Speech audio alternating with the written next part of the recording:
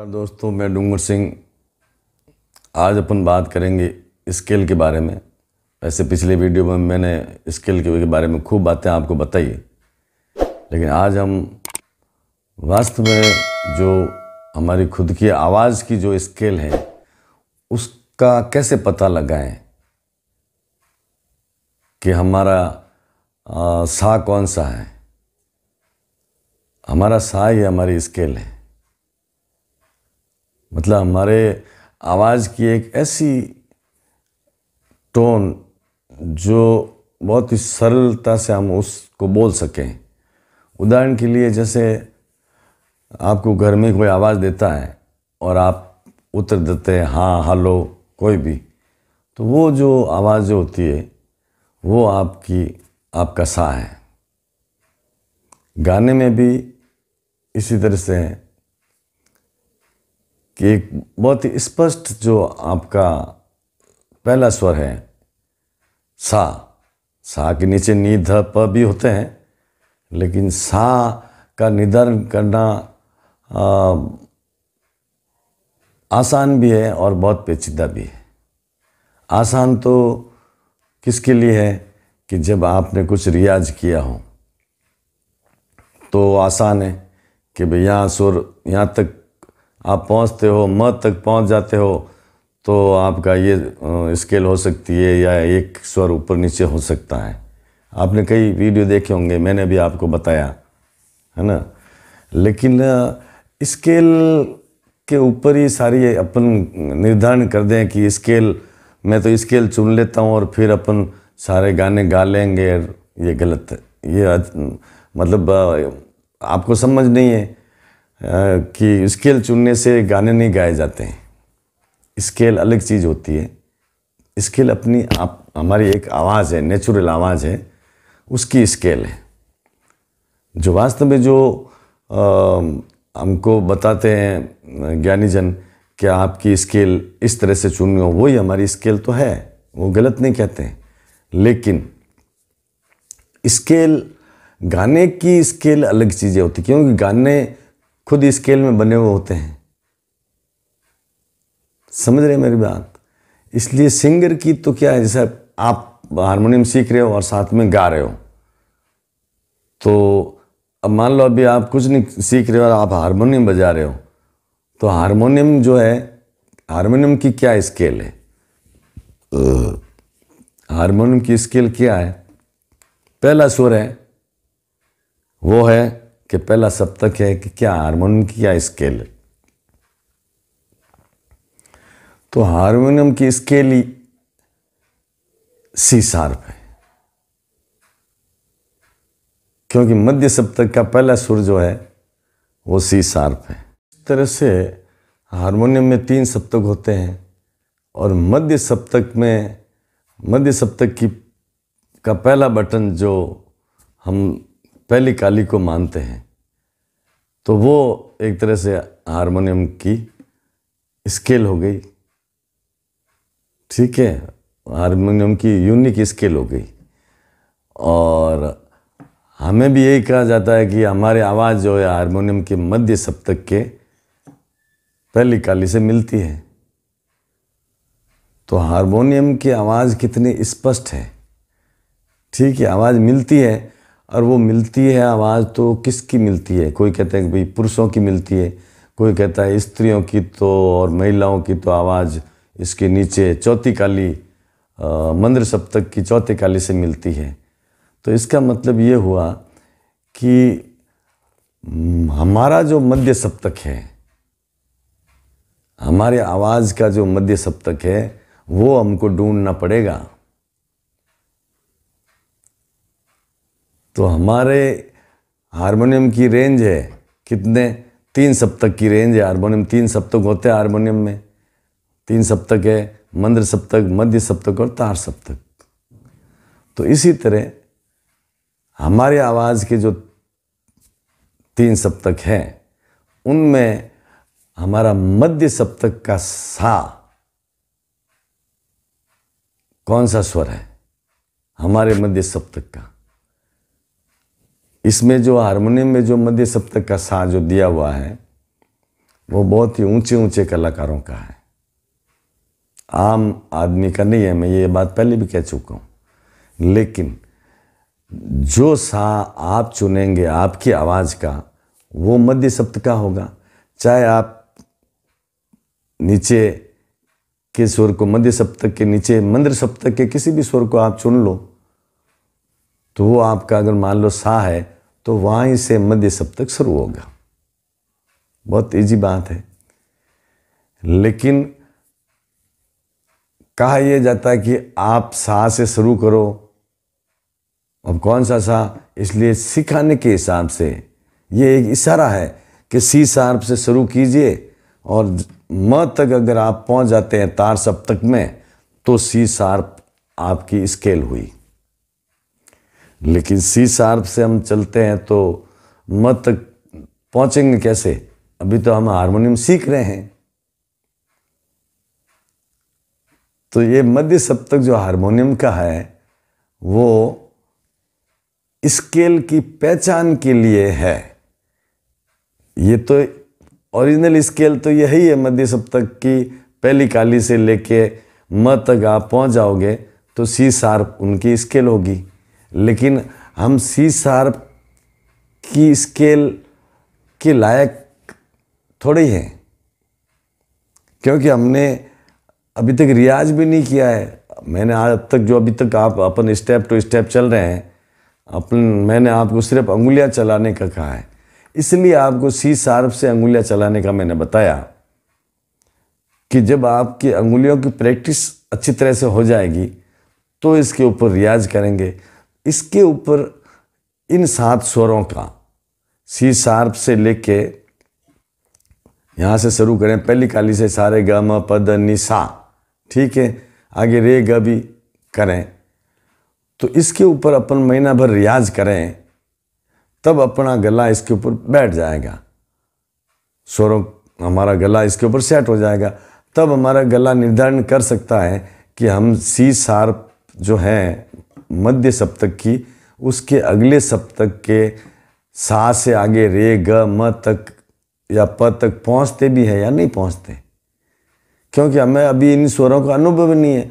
अभी हम वैसे ही बजा देंगे सा, रे, ग, म, प, द, नी, सा, रे, ग। मैं तो पहुँच गया सा, ग तक। मैं तो म तक भी पहुँचता हूँ, मैं तो प तक भी पहुँचता हूँ। क्योंकि आपको पता ही नहीं कि आपका सुर, आपकी आवाज़ हारमोनियम के सुरों से मिलती है कि नहीं मिलती है।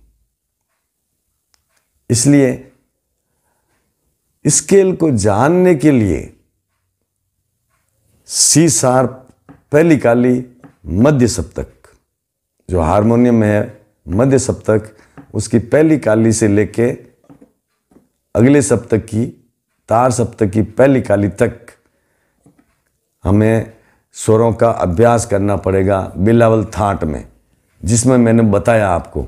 कि पहली काली को साम मानेंगे तो दूसरी काली रे होगी, है ना? और नेक्स्ट सफ़ेद जो है, एक, दो, तीन, चार, चौथी सफ़ेद जो होगी वो ग होगा और तीसरी काली मध्य सप्तक की जो है, म होगा, चौथी काली प होगा, पांचवी काली ध होगा, ठीक है? और उसके बाद में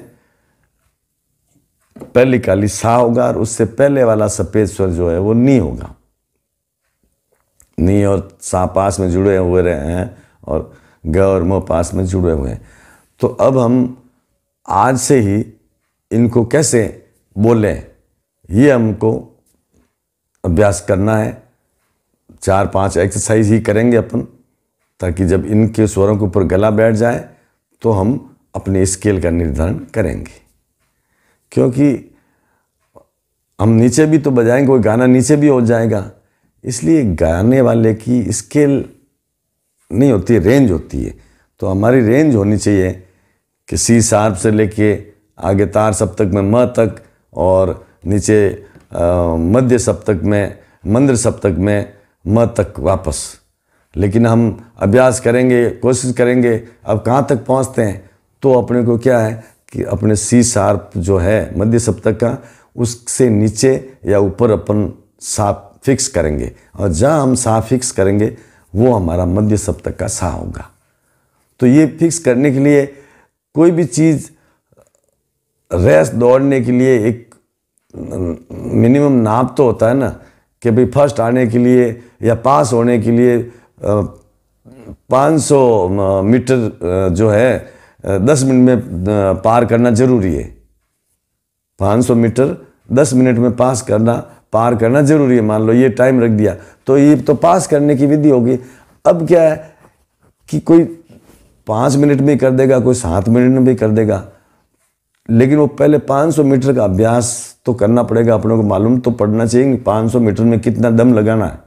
तो यही जो है, ये मध्य सप्तक जो स्थायी मध्य सप्तक है, हारमोनियम का, इसके ऊपर जब हम कुछ एक्सरसाइज करेंगे, तब हमारे गले का गले का हमको पता चलेगा कि हमारा गला कहाँ तक पहुँचता है। आराम से, इसमें कहीं ज़ोर ज़बरदस्ती की ज़रूरत नहीं है।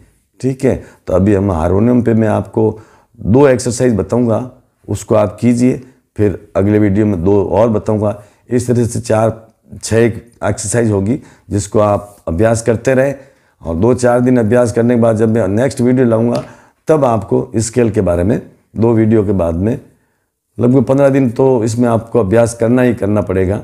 और जब आपको लगे कि मेरे कानों से बराबर सुन रहा हूँ और वही स्वर में मुँह से बोल रहा हूँ, मेरे और हारमोनियम की आवाज़ एकदम मिल गई है, तब अपन स्केल निर्धारण करने का मैं आपको बहुत ही अच्छा फार्मूला बताऊँगा, जो आज तक आप कितने भी आपने जो यूट्यूब के वीडियो देखे होंगे, कितनी भी चैनलें देखी होगी, और भले और पंद्रह बीस दिन में आप देखोगे, लेकिन जो मैं बात बताऊँगा, वो आपको कोई न तो आज तक बताइए और हो सकता है मेरे बताने के बाद और भी लोग बताने लग जाए। तो स्केल फिक्स करना कोई मुश्किल काम नहीं, बहुत ही सरल है। आइडिया मैं आपको दूँगा। तो आओ आज अपन बिलावल थाट से जो अभ्यास करना है, वो पहला अभ्यास शुरू करते हैं। सर्वप्रथम आपको सा लगाना है। बहुत ही कम हवा भरनी है। सीधे बैठना है और इस सा की आवाज़ को सुनना है। मन में, और मन में ही करना है। सा सा सा। मिलाना इसको। नहीं मिले तब तक अभ्यास करते रहो। सा।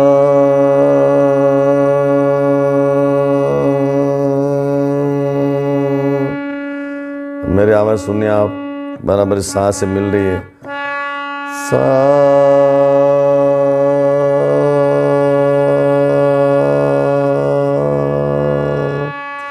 सा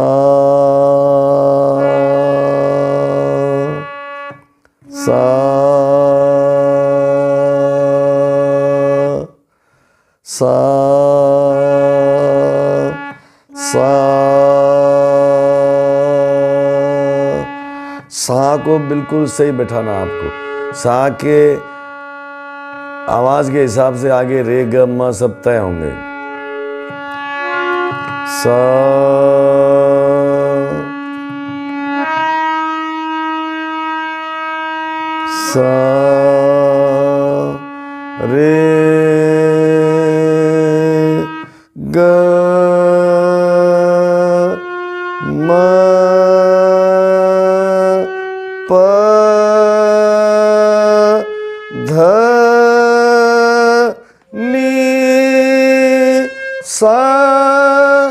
सा नि ध प म ग रे सा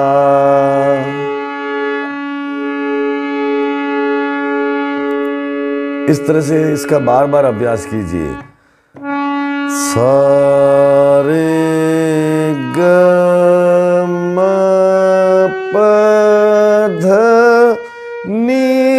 सा सा गे प सा पहला अभ्यास ये दूसरा अभ्यास दो दो अक्षर साथ में।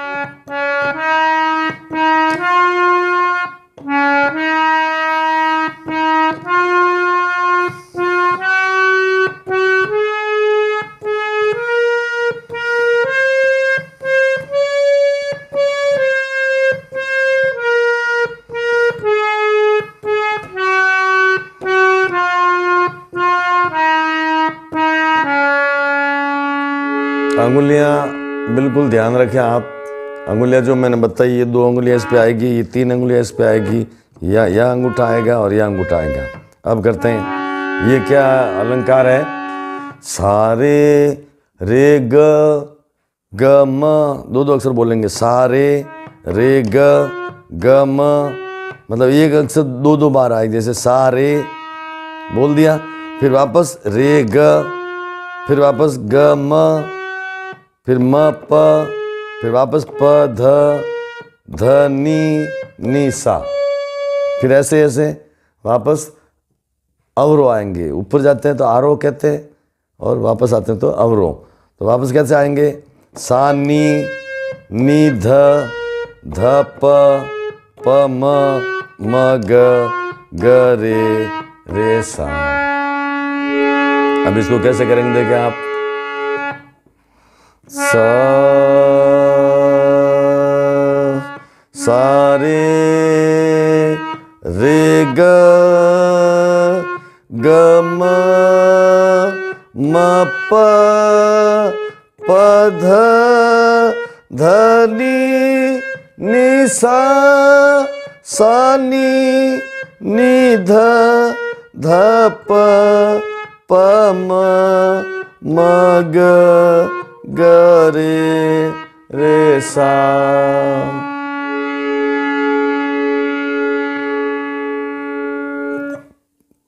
पहले इन, इसको अलंकार को करें। दस बार, बीस बार, तीस बार करें। मैंने बोला मैंने जैसे बताया वैसे वैसा, मैं बोला वैसे वैसे, आवाज़ इन सुरों से मिलाइए। और फिर इनको एक थोड़ी तेज़ लय में करें, फिर उसको अधिक तेज़ लय में करें, तीन लय में करें। सामान्य लय मध्य लय और तीव्र लय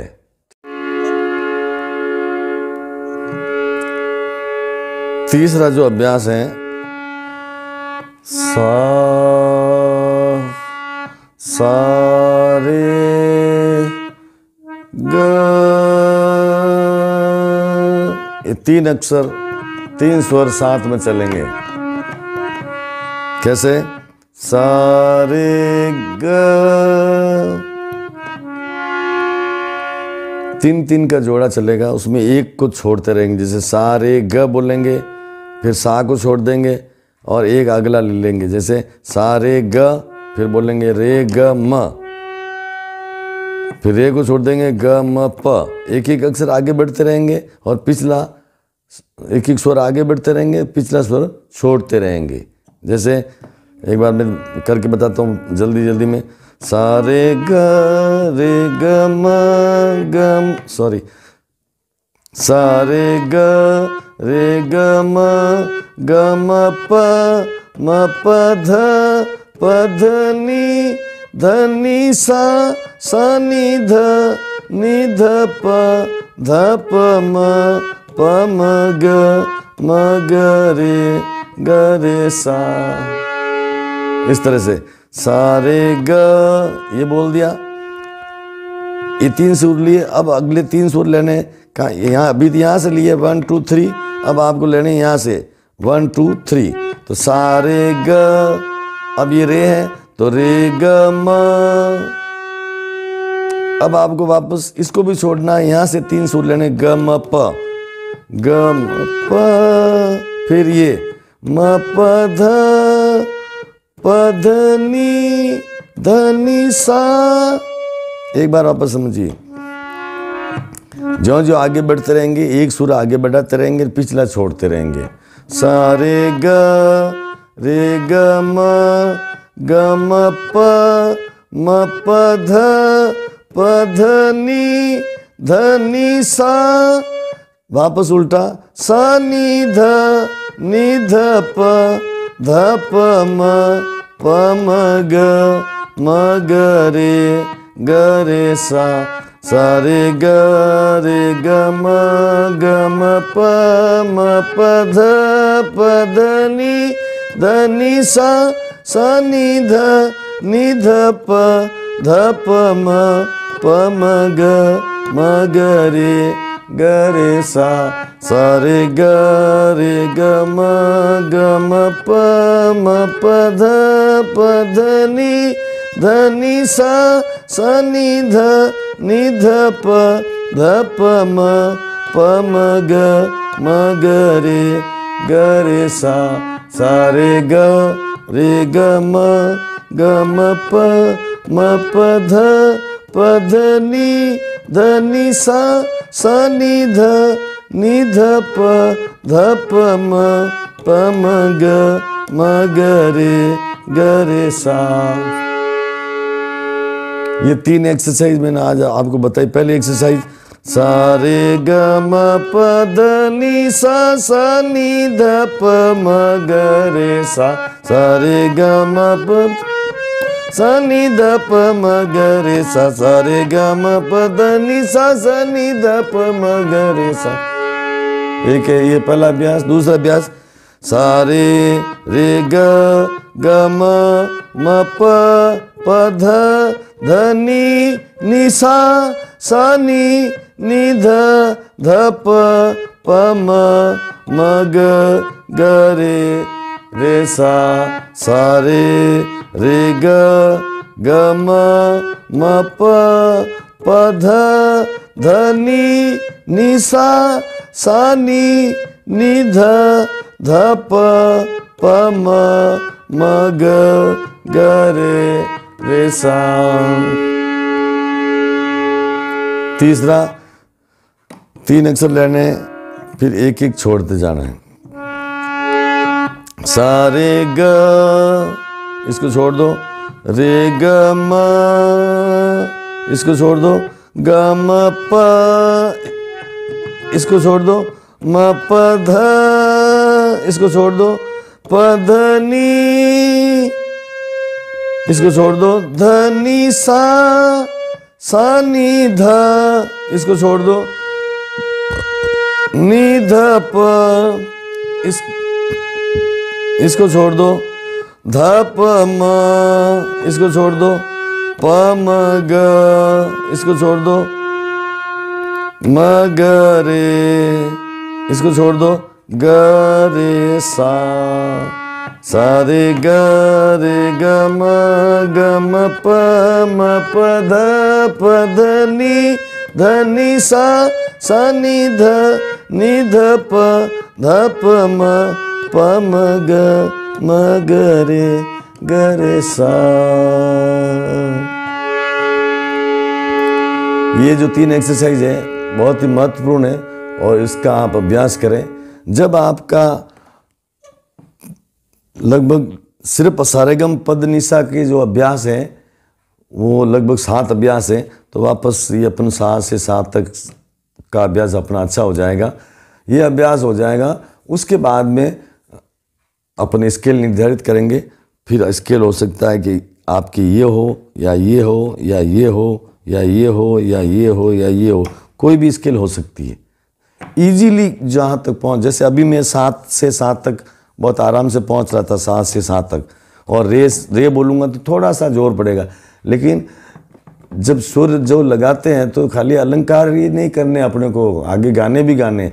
तो गाने में तो उसका सुर पेटेंट लगना चाहिए। अलंकार में तो अपन आगे जल्दबाजी और आ, उसको कहते हैं कि जल्दी टच करके वापस भी आ सकते हैं धीरे भी रुक भी सकते हैं जल्दी भी क्या स्पीड में भी करो। गाने तो एक अक्सर वहाँ रुका रहता है आ, तो वहाँ अगर तार सप्तक में रे पे वो रुका हुआ है तो वहाँ रुकना पड़ेगा।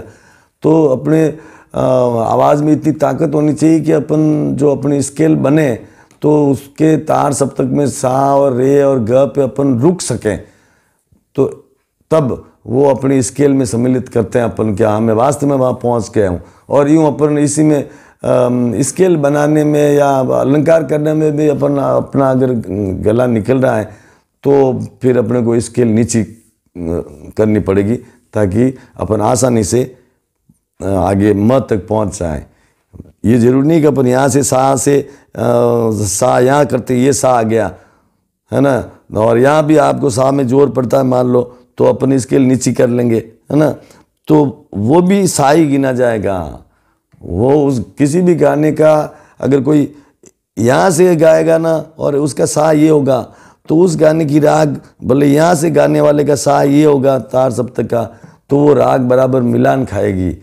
ऊँची स्केल होना, नीची स्केल होना, कोई मायने नहीं रखती, लेकिन आपकी आवाज़ की स्पष्टता ये मायने रखती है कि आप जो बोल रहे हो वो सामने वालों को साफ़ सुनाई दे। जैसे अब यहाँ आप अलंकार अपन करते हैं ना, सारे गम, ये साफ़ सुनाई देना चाहिए आपको खुद को भी और अगले को भी। सारे रे ग म ये भी साफ़ सुनाई देने चाहिए आपको भी। और सामने सुनने वालों को भी। ठीक है? सारे ग रे ग म ग म प म प ध प नी सा। बराबर सब जगह बोलना यूँ नहीं कि कहीं आप खाली बजा ही रहे हो, बोल नहीं रहे हो, बोल रहे हो और बजा नहीं रहे हो। ऐसा नहीं होना चाहिए। बोलना भी बराबर है, बजाना भी बराबर है और एक हाथ से हारमोनियम की हवा भी भरनी बराबर है। और हवा में ज़्यादा हवा नहीं भरनी, ज़्यादा हवा भरोगे तो ये तेज़ बोलेगा।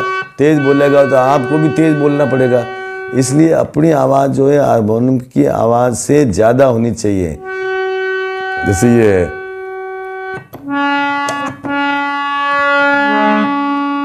इतनी आवाज़ होनी चाहिए बस। थोड़ा सा दबाते ही थोड़ी सी हवा भरते ही हारमोनियम में आवाज़ आनी शुरू हो जाती है और सुर को भी थोड़ा सा दबाओ। ज़्यादा दबाने की ज़रूरत नहीं है कि पूरा नीचे टिकना चाहिए, वो नहीं है। इस